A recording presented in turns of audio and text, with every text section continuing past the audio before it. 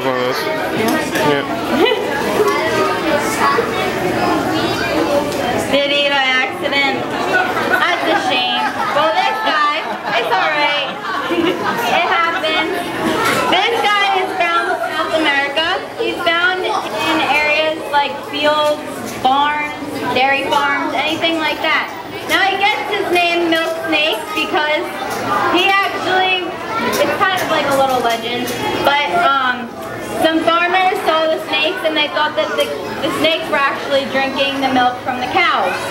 So they actually got rid of the snakes and they found out that they had a big rodent problem and the actual mice were drinking milk from their little can like